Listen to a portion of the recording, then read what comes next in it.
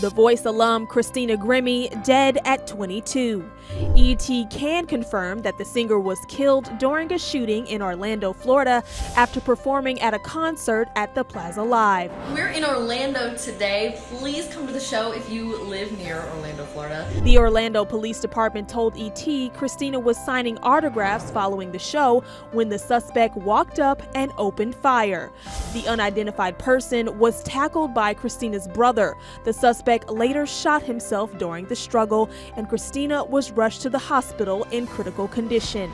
The young starlet's rep released a statement after the emergency quote, It is with a heavy heart that we can confirm that Christina has passed. We ask at this time that you respect the privacy of her family and her friends in their time of mourning.